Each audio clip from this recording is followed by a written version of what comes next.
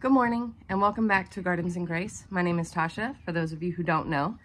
And today I'm hanging out in the garden. It's Saturday and I have cleared my schedule for the whole day to just be out here in the garden. I've got a lot of projects I want to do uh, around the garden today. One of them being building a new garden bed.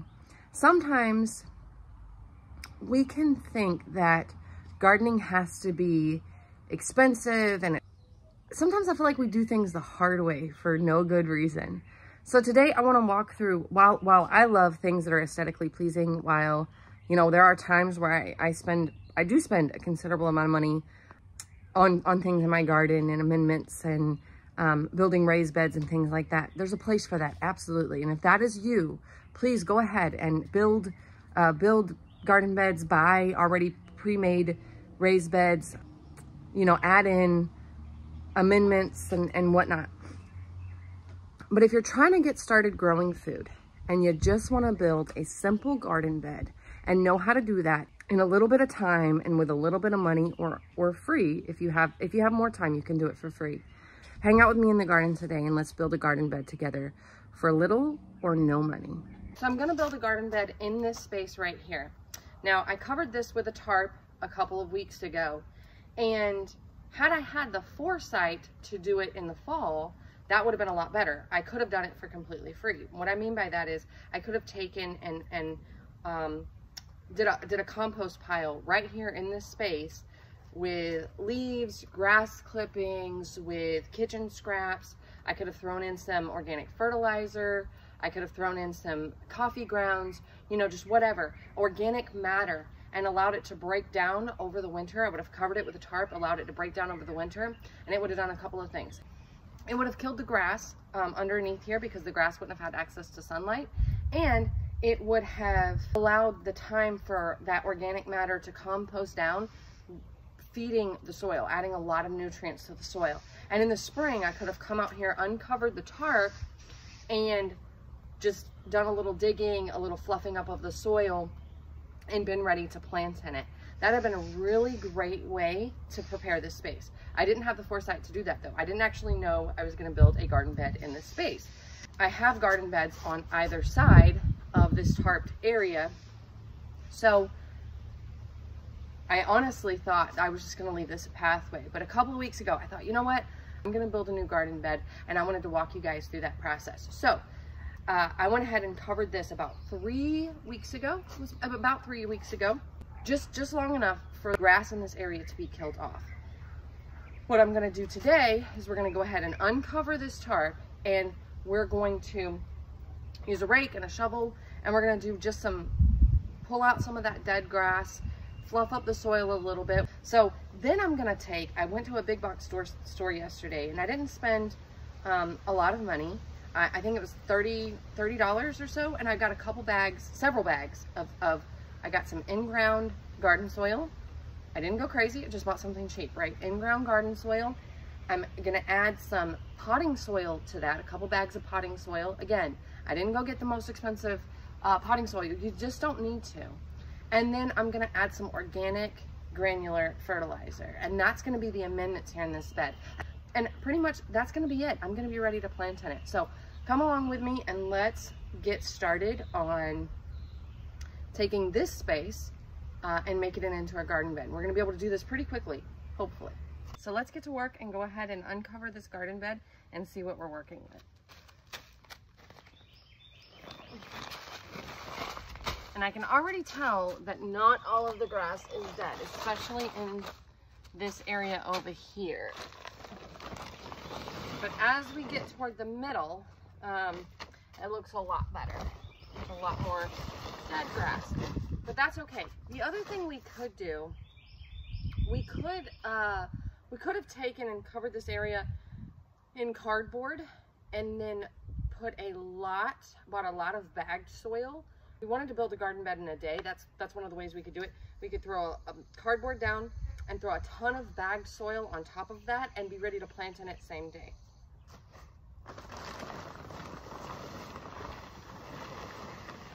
It would be good to add a lot of compost in this space because it's it's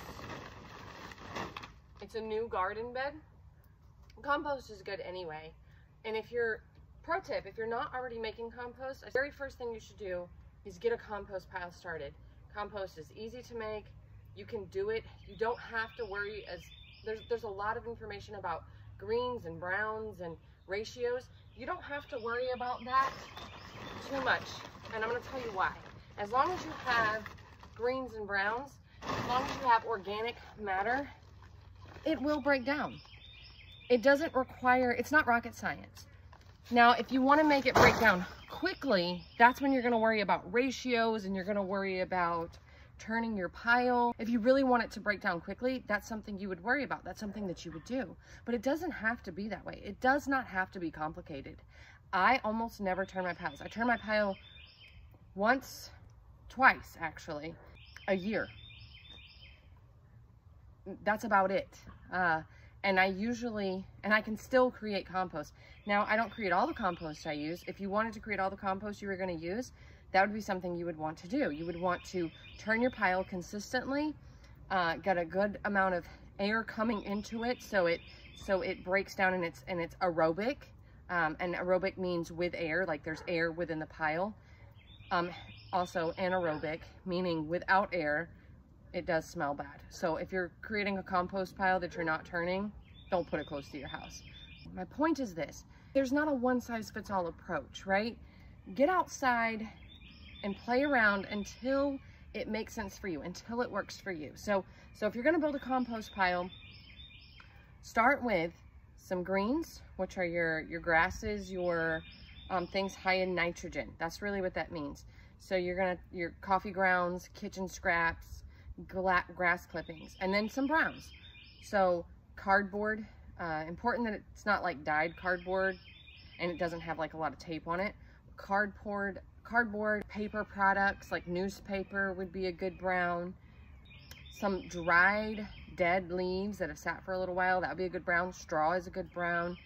Add your greens and add your browns into your compost pile. Turn it if you want to, um, but if not, just add it there, add some water to it, and let time break it down. That's all you really need to do. Anyway, so what I'm finding with this space is the grass, like I said, it's only been three weeks. So the grass is not as dead as I wanted it to be.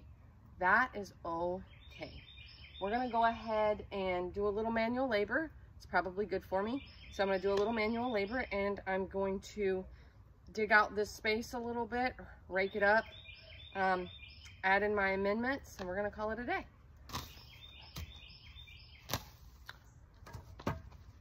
I said I was gonna do two feet of space. So let me go get a tape measure. I'm also gonna grab another tool, like a flat shovel. I'm gonna grab a flat shovel or, or an edging shovel so that I can make a, a nice edge to this garden bed. You don't have to do that step. I just wanna do it because I, I like to have a nice edge. So I'm gonna go ahead and I'm gonna go ahead and use my tape measure um, so that I can border this bed so that I have about two feet of walking space between this bed over here and this one, and this bed over here and this one. So I'm gonna go ahead and mark it. I'm just gonna use, right now I'm just gonna use my hoe. And then, um, and then I'm gonna edge it out.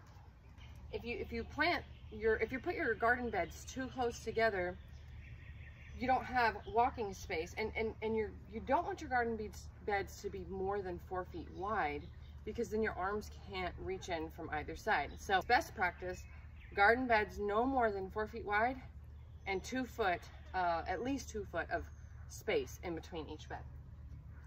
So here, I'm just gonna create a little bit of an edge.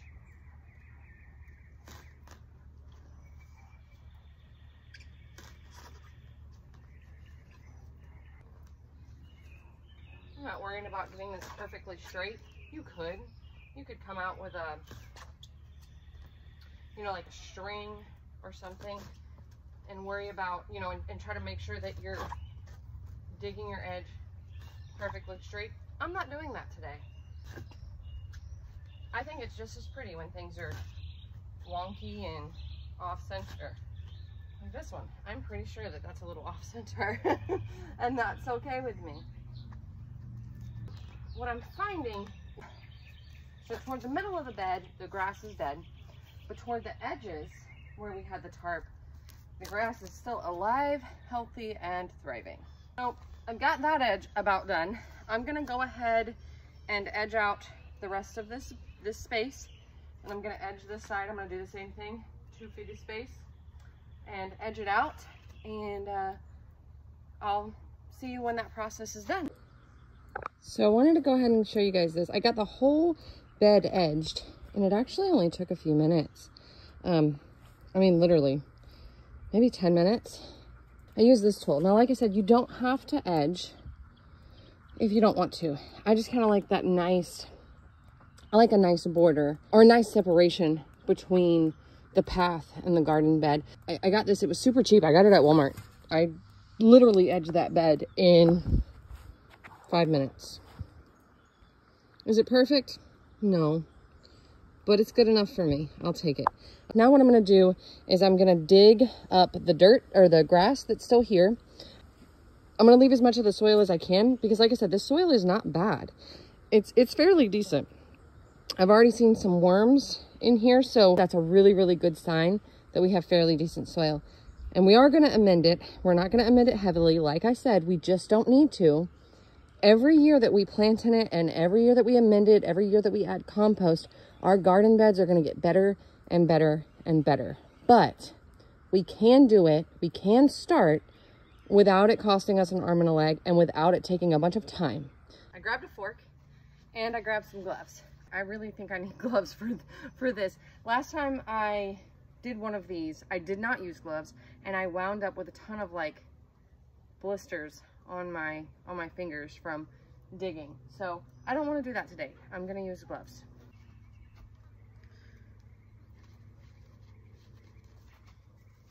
So what I'm gonna do now um, is I'm gonna go start with my edge and just kind of lift the soil. And we're gonna pull out this grass, right? Now, I do wanna save as much of the dirt as I can. So what I'm probably gonna do is throw the grass onto that tarp. We're gonna let it dry out yeah, and we're gonna add the soil back in later. So let's do that. Let's go ahead and spread this tarp back out. And I'm gonna throw some of the, the grass onto the tarp.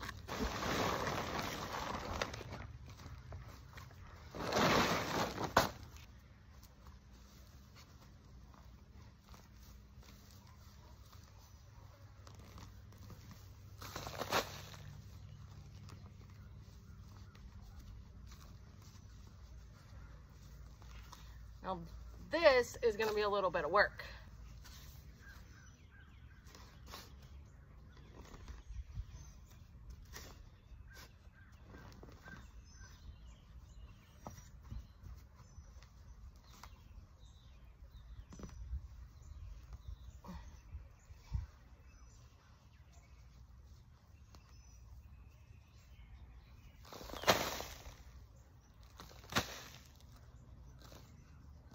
I'm just gonna kind of keep going back. I'm gonna go in a line, do this area, do this area.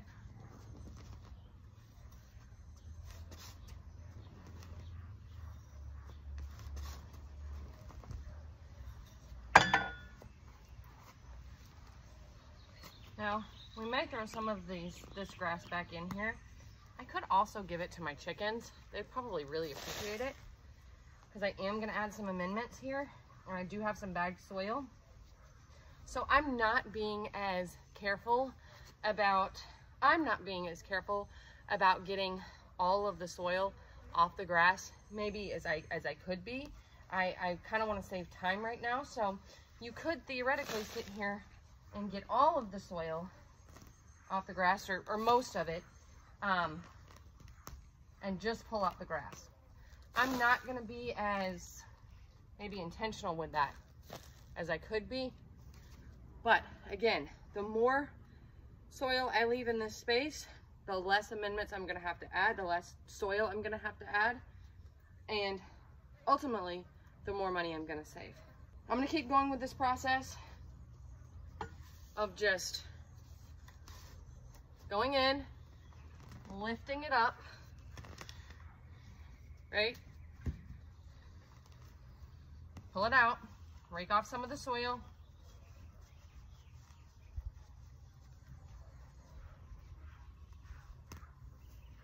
And throw it on the tarp.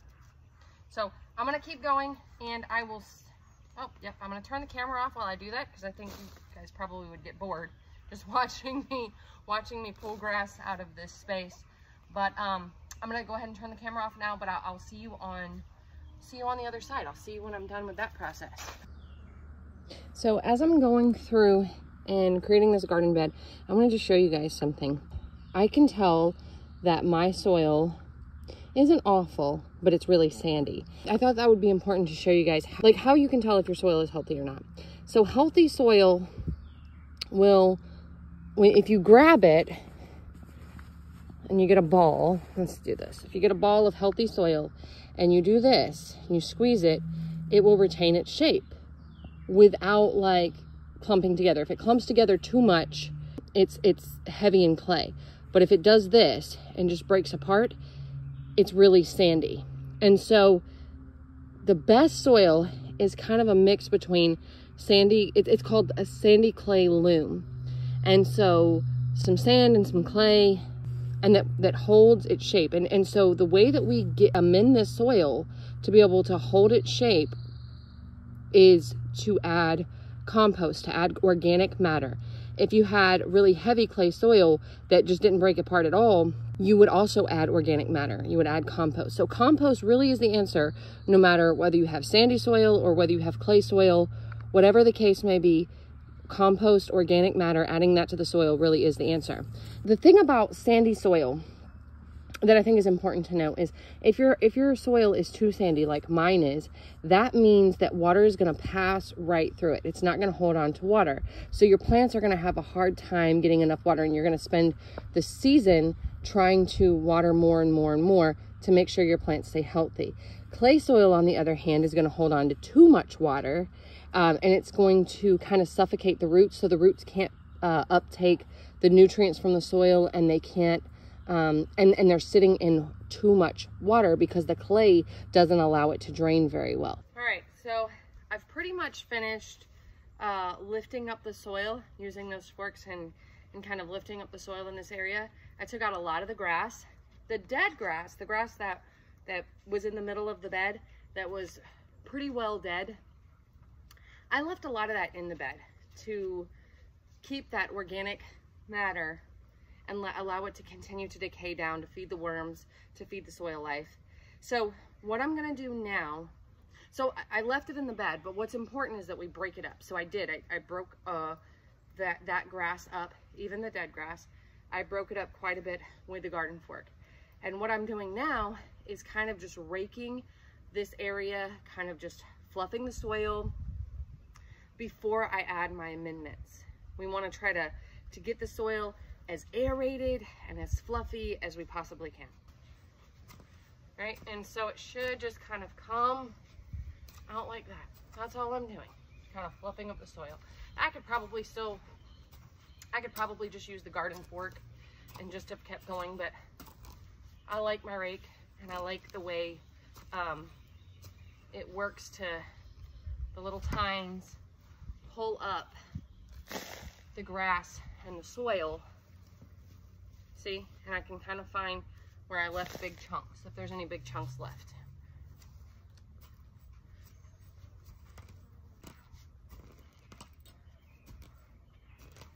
And this whole process, since I started, I've been building this bed for maybe an hour, and I've taken a couple breaks because it's hot out here and you have to stay hydrated. Pro tip, stay hydrated whenever you're working outside, especially if it's hot.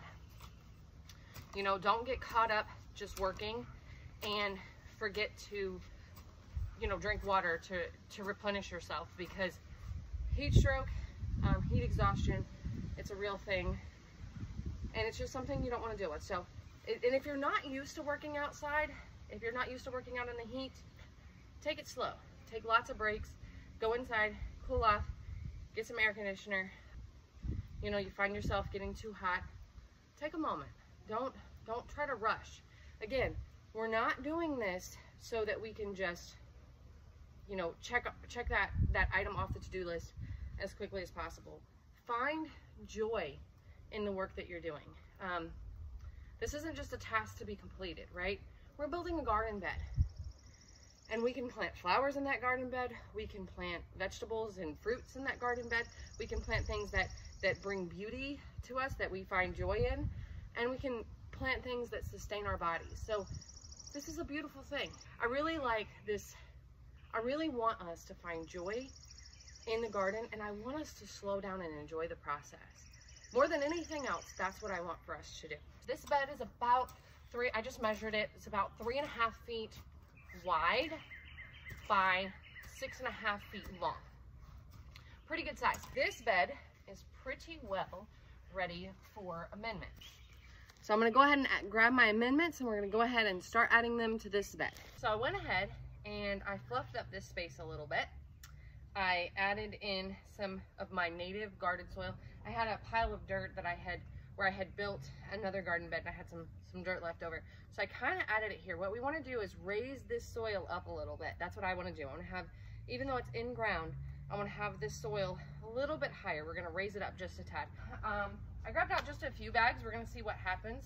We're going to see where we are. But I'm going to add, I'm trying to do this as cheap as possible so I can show you guys that it doesn't take um, a ton of money to, to build a garden bed. So anyway, I'm gonna throw in, this is just some cheap garden soil I got at Lowe's. I'm also gonna add in a bag of potting mix. We're gonna add in some organic granular fertilizer. That is a, that will break down over time. It does take time for that organic granular fertilizer to break down. Now, really important, this season, I'm going to use a water soluble fertilizer probably every two weeks. Um, I usually don't need to do it more often than that. Or if, if we start to notice that the plants um, are, are suffering and struggling. Stay with me. I will show you that process. I'll show you how to tell when your plants need fertilizer and what to do in those cases. We'll, we'll talk a lot more about fertilizer as the season goes along. But just so you know, I'm going to amend this bed and then I'm going to add water soluble fertilizer about twice a month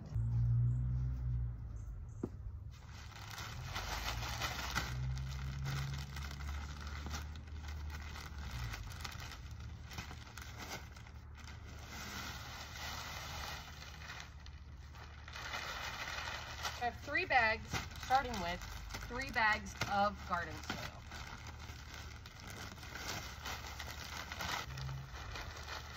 So that garden soil was $3, $3 a bag for that garden soil. The potting mix is eight was $8 a bag. So I've got one bag of potting mix, three bags of garden soil. We're gonna see what that does. But that would be three, six, nine, that would be 17 yeah, $17 all total. I do have the organic granular fertilizer on hand, so I didn't buy that at the store yesterday. Um, be honest with you, it, it varies so much depending on region and the time of year that you bar, buy your fertilizer. Pro tip, good piece of advice, buy your fertilizer in the off season. So as you're going into the later part of the growing season, early part of the fall, that is when stores will mark down fertilizer that's still sitting on the shelf.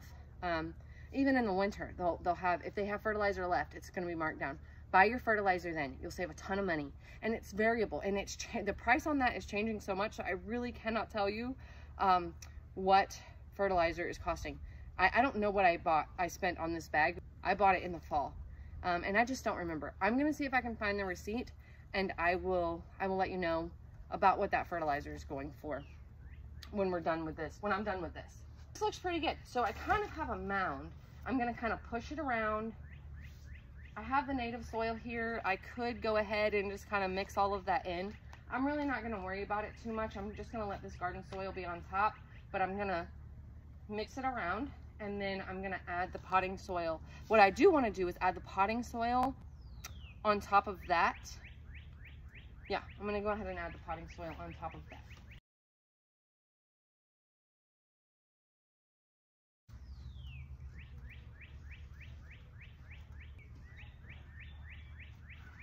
trying to get it to the edge, but I don't want to, uh, I do want this to be mounded up a bit.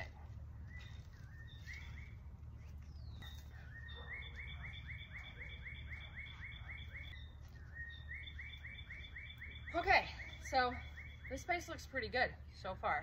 Um, let's see how big it is now, because I think we may have lost some space as I was digging and playing around here. Let's see what kind of space we got here. Huh. Yep, three and a half feet. We did keep three and a half feet. And about six and a half feet. This is gonna be a fairly healthy space. And I can grow a lot of food in this space. I can grow a ton of produce out of this space right here. So let's go ahead and add the potting soil on the very top. So we're gonna go ahead and add the potting soil on the very top. We're gonna kind of rake that around. We're gonna leave that on the top layer though, and then I'm gonna sprinkle in some organic granular fertilizer.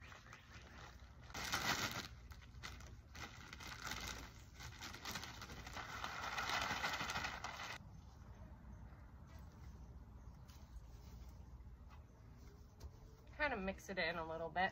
That's okay. You want it just in that top, that little top layer. I suggest if you build an in-ground bed, make sure that you mulch around it. Raise it up off the ground. So over time, I actually want this much higher off the ground. But this will work for now, and it's kind of mounded up. So what I like to do is go around the edge of the bed and just kind of create a separation. I'm gonna use my rake and just kind of push this up just like that. It creates a little bit of a separation between the rest of the earth, the rest of the ground here, and the garden bed that we just built. Helps a little bit to protect against weeds. It also just looks a little better. So I'm just gonna clean that up, I'm gonna straighten that up, um, and then we'll add in the fertilizer.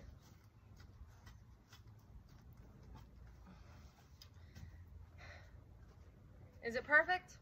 No, but it looks great to me. I actually really like the way this came out. And I think we were at about an hour and a half of work time. And I've been talking to you on the camera and I've taken a couple of water breaks. So realistically, theoretically, I probably, realistically, theoretically, I probably could have done this in about an hour. And I'm just gonna sprinkle it along the top. There's a little bit of fertilizer already mixed in to the soil that I bought. So I don't have to go crazy with this maybe. Just kind of do that. And mix it into that, just that very, very top layer of potting soil that we put on. We're gonna mix that in.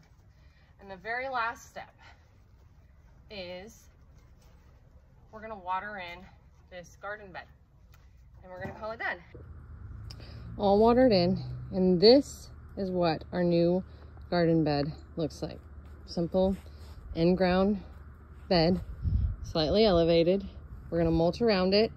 We're gonna grow lots of food in this space. I look back at my receipt for my fertilizer and I got it for $6 on sale. So I only used a couple handfuls of that fertilizer. So I would say not even half the bag. Um, I would say on fertilizer, I spent maybe a dollar.